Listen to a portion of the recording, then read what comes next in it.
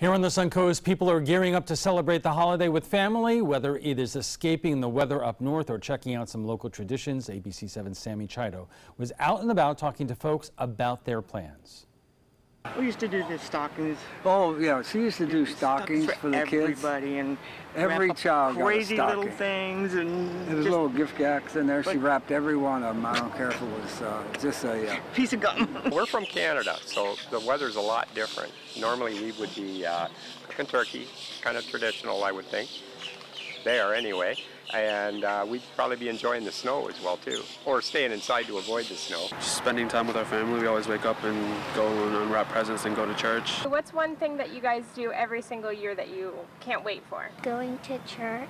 I was born and raised in Puerto Rico, so we do celebrate the Three King Days. We've been coming down to Sarasota area for Christmas for a long time now. Originally to see my grandma, and now my mom lives here, so now we're bringing our son uh, down to see my, my mom, his grandma, and then my sister and her two boys are here as well. This is a tradition for us. We've done it quite a few years in a, in a row, and uh, we think that we think that it's really important for people to get out, and spend time with their families, and remember what the holidays are all about. And it's not a real nativity unless you got the animals. So we're lucky enough to have, you know, part of our Hoofstock family come up here and uh, stand around for the nativity, and and you know, people really get to enjoy it. Merry Christmas! Feliz Navidad! Merry Christmas. yeah, thank you, everybody, and Merry Christmas.